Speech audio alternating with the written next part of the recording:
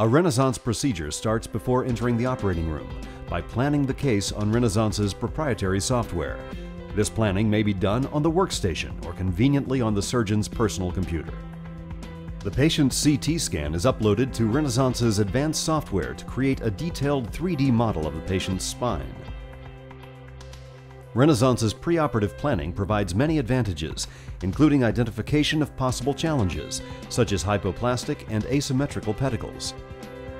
Better assessment of the patient's anatomy can help the surgeon determine the most optimal implant sizes for better bone purchase and strategic placement. Renaissance's interface allows the surgeon to review and modify this plan in axial, lateral, and AP views until fully satisfied with the location and purchase of the implants. The preoperative surgical blueprint can be reviewed in a virtual video mode, displaying the anatomy slice by slice in all three surgical planes.